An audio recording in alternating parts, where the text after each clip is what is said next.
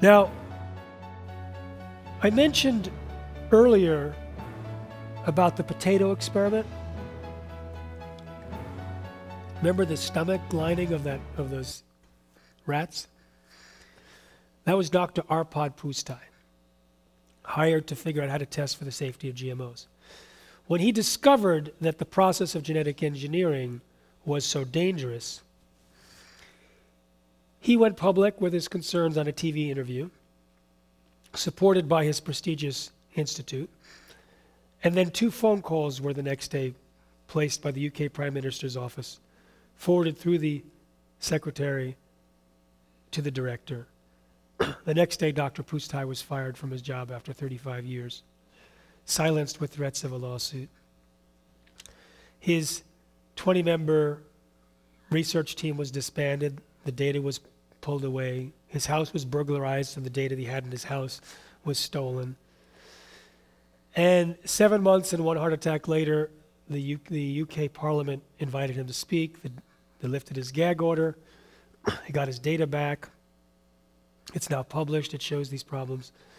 But what it did also, and I opened my book, Seeds of Deception, with this, is it shows that on the, on the day that the director of the institute that had fired him told 30 Press that the restrictions on Dr. Pusztai's speaking to the press had been lifted, they all left the room before he finished the sentence and rushed over to Dr. Pusztai's house to finally be able to hear what he had to say because he had been gagged.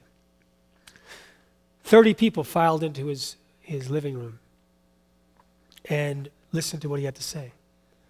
Over the next month, over 700 articles on GMOs were published in the newspapers and magazines of the UK. Almost nothing in the United States. Within 10 weeks, Unilever said no more GMOs in our European brands. The next day, same with Nestle's. The next week, virtually everyone else. Same companies were selling GMOs to unsuspecting Americans. The tipping point of consumer rejection had occurred in Europe, but not the United States. So, the Institute for Responsible Technology, which I founded in 2003, has been focusing on educating consumers about the health dangers. And I'm happy to say the tipping point is underway now in the United States. We're actually getting rid of GMOs more and more in these companies. What's important now is to actually get people to switch not only to non GMO, but also to organic. So I'm going to ask the AV people in the back to play the trailer for the movie Secret Ingredients, which focuses on organic, which includes non GMO and non Roundup. And then we'll come back to the slides and to your questions. You guys ready for that? Okay. I have no sound.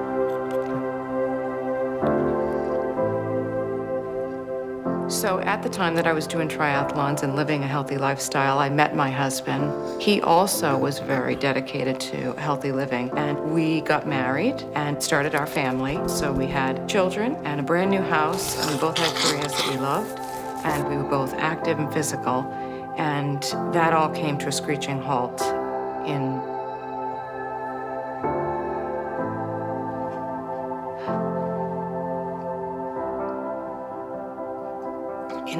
August of 2007.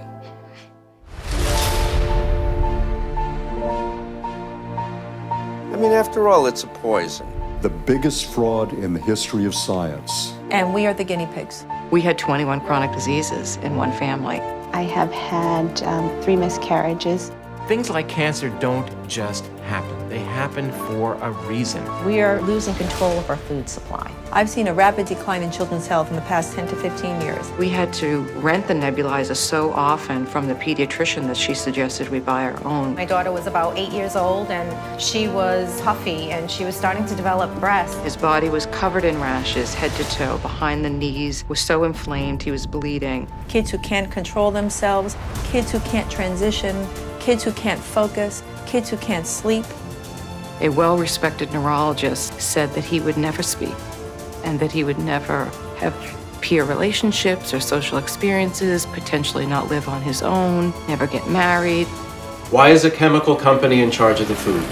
So many diseases and disorders have skyrocketed since the introduction of GMOs and Roundup in the food supply in the mid 1990s. Asthma, allergies, autism, ADHD, anxiety, autoimmune disease, and that's just the A's. The science is sound. The science is there. You just have to look at it. I've removed genetically modified food and had kids eat all organic food. No pesticides, no GMOs. And the changes I've seen are remarkable. So we went from, you know, your son has autism, your daughter has asthma, to no, they don't. It's been eight years since my uh, diagnosis. I compete in triathlons and I feel great. Her belly is completely flattened out and she's stopped that accelerated development. You know, she is where I feel like she belongs as an 11 year old little girl. Stephen now is an articulate, lovely, straight A student with many friends, active, plays sports. He participates in a mainstream classroom without any supports, no speech therapy, no articulation disorder, no physical therapy, no occupational therapy. He does all the things other children do with great ease and elegance and grace, and he is perfect.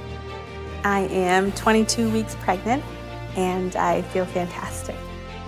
This shift can only come by a global desire to change our food supply. The removal of genetically modified foods, glyphosate, and pesticides was the fundamental, the foundation for why we all recovered.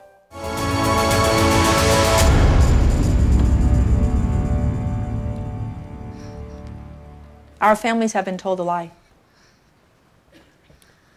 You want to see it?